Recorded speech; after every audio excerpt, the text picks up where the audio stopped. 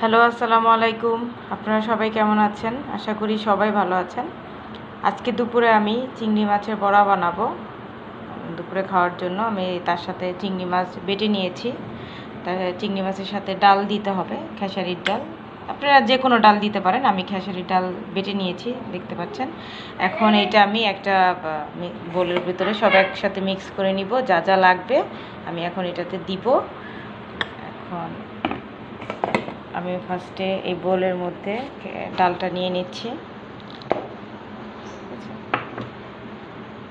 এখন আমি চিংড়ি মাছটাও নিয়ে নিচ্ছি সাইড করে।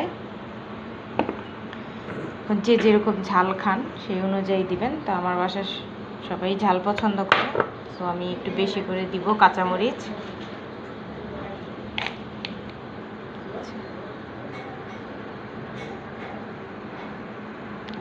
কাঁচামরিচ দিচ্ছি। কাঁচামরিচ দিয়েছি, এখন আমি পেঁয়াজ কুচি দিব। আমরা সবাই ঝাল পছন্দ করি, তার যার কারণে আমি মরিচটা একটু বেশি দিয়েছি। আপনারা যে যেরকম ঝাল খেতে পছন্দ করেন ওরকম দিবেন। এখন আমি লবণের লবণ দিব। পরিমাণ মতো লবণ দিয়ে দিবেন।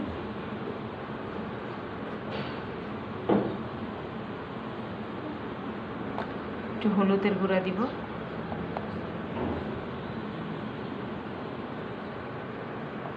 অল্প বেশি না। কি করো?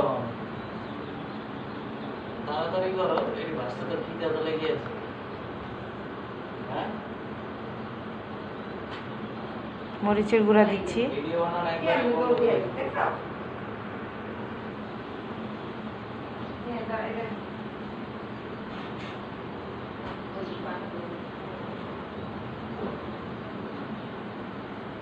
মরিচের গুঁড়া দিচ্ছি একটু অল্প করে।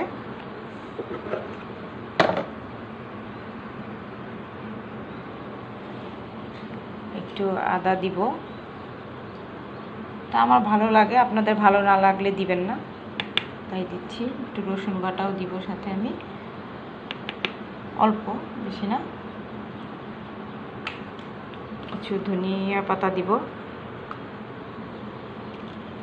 ঠিক আছে, ধনিয়া পাতা দিলাম কিছু। এখন সব আমার দেয়া শেষ, আমি এখন এটাকে মিক্স করব। ভালো মতো মিক্স করে এরপরে আমি এটা ভাজতে চলে যাব। আগে ভালো মতো এটাকে মিক্স করে নিচ্ছি। আমি সবগুলো ভালো করে মিক্স করে নিয়েছি, এই যে দেখতে পাচ্ছেন আমার মিক্স করা শেষ। এখন আমি এটা ভাজতে চলে যাব ঠিক আছে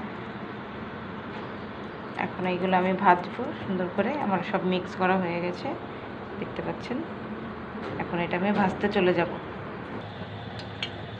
আমার তেল গরম হয়ে গেছে অলরেডি এখন আমি এটার মধ্যে সব বড়াগুলো দিয়ে দিব। আস্তে আস্তে আমি ভাজা ভাজা স্টার্ট করে দিচ্ছি।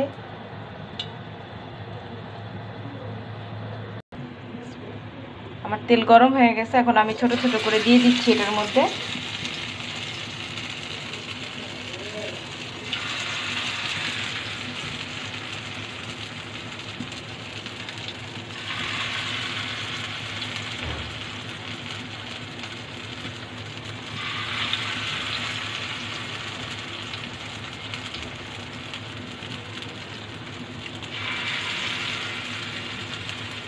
একটু লাল লাল করে ভেজে নেবেন, ভালো মতো।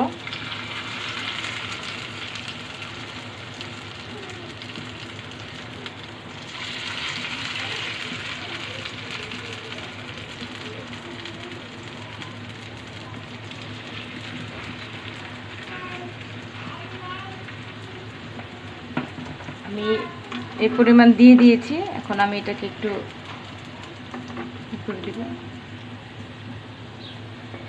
আমার কতগুলা একটু উল্টে হয়ে গেছে। আমার এক পাশ ভাজা হয়ে গেছে। আমি এখন উল্টাই দিচ্ছি। দেখতে পাচ্ছেন?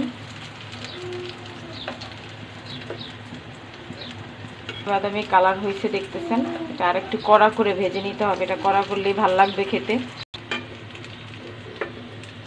আমার ভাজা হয়ে গেছে। দেখেন কালারটা কি সুন্দর হয়েছে।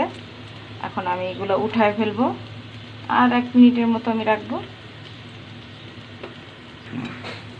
আমি উঠায় ফেলতেছি। ভাজা হয়ে গেছে।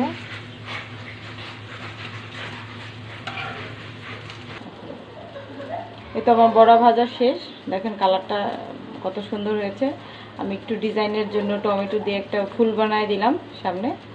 দেখেন এটা হচ্ছে আমার চিংড়ি মাছের বড়া রেডি। এখন আমরা খাব।